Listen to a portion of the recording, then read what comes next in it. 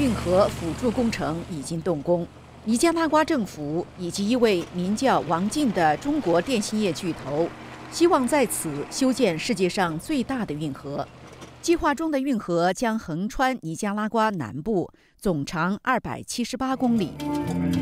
但有一点是毫无疑问的。